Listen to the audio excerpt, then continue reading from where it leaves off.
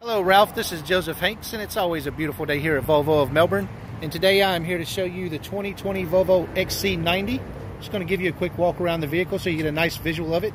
it has LED headlights, third row seating, got a spacious cargo area in the back with a hands-free power lift gate. Just going to continue to make our way all the way around this vehicle so you get a nice full visual of it. There we go. All right, Ralph, that is the 2020 Volvo XC90. Again, my name is Joseph Hanks. If you have any questions, you can contact me at 321 586 5885, and I look forward to working with you. Thank you.